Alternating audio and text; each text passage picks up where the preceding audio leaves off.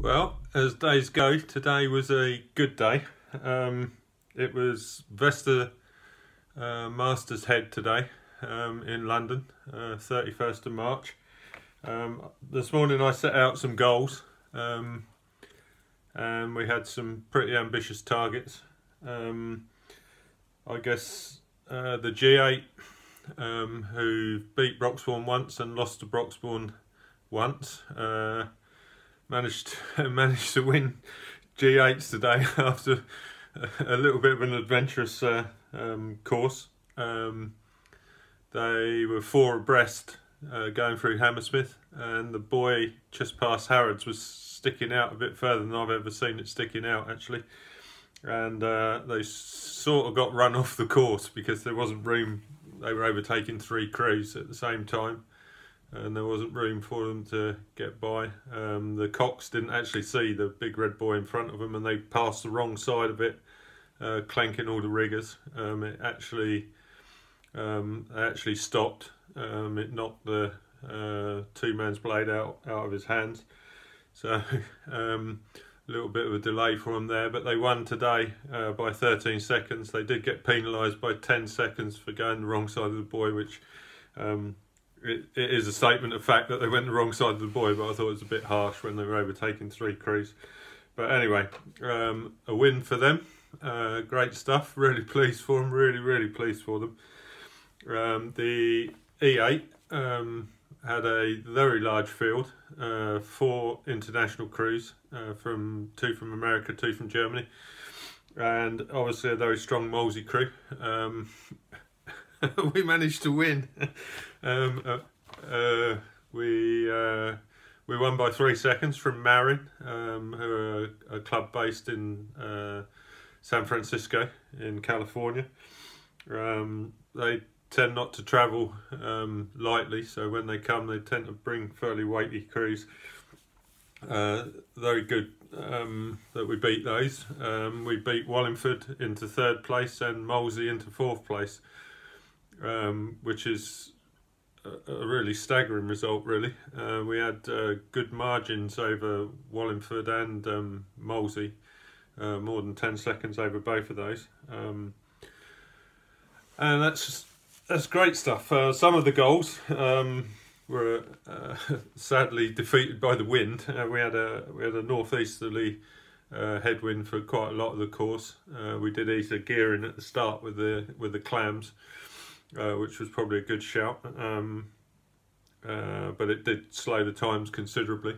Um, but the more rele relevant um, um, milestones were last year we won 59 behind the winners. This year we were 120 behind the winners. Uh, last year we came 29th. This year we come 15th. So all in all, um, that, that's good news. Chris Callow is Star Club member in a quad. Uh, last year they beat us by 22 seconds. Uh, this year we beat them by 19 seconds. So um, we can feel we're making um, real progress. Uh, Monmouth um, last year beat us by 15 seconds. They're a D8. They beat us by 5 seconds at Trent this year. And uh, today we beat them by 30 seconds. So all in all it points, points to um, a very good performance from today. Um, I'd just like to give a big shout out to both Coxes who did um, a fantastic job, both of them in slightly difficult circumstances. Uh, we overtook four crews um, and we went under Hammersmith Bridge uh, three three in a row. Um, uh, I think Sam uh, in the G boat might have had it slightly more tricky on the basis they overtook five crews and they had four abreast um, coming to Hammersmith and out the other side, they were still um, obviously down to that buoy, which was probably 400 metres further on. They were still um, uh, side by side with the other crews. So um, a big shout out to those for for a fantastic job.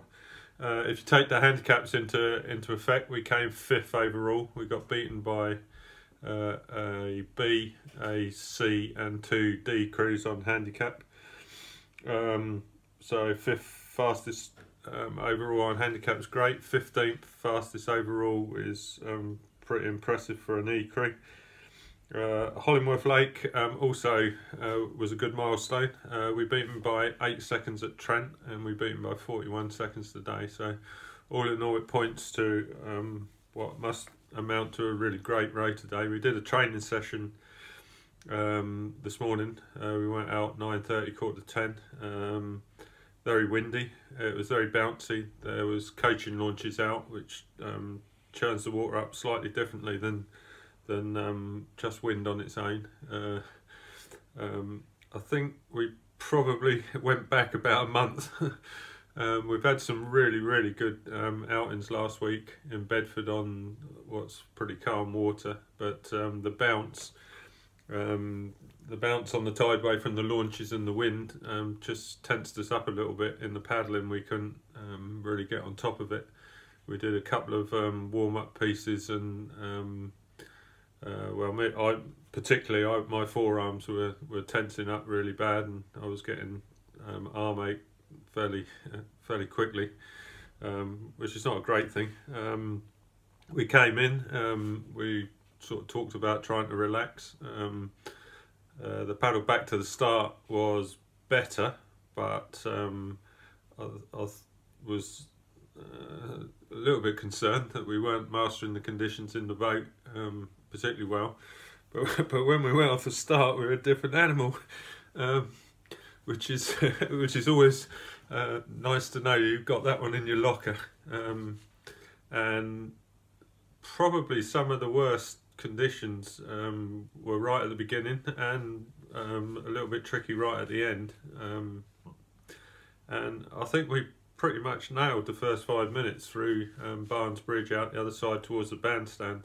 Um, I was watching some crews when we were sitting um, at the start, and there were some London clubs that were really struggling in that water, and I think we got through it quite well, and I think that set us up for a good row. And I think we did have some slightly scrappy pieces, um, but all in all, I think um, we rode infinitely better than we can paddle on the tideway. That's for sure. Anyway, we're on the road to Budapest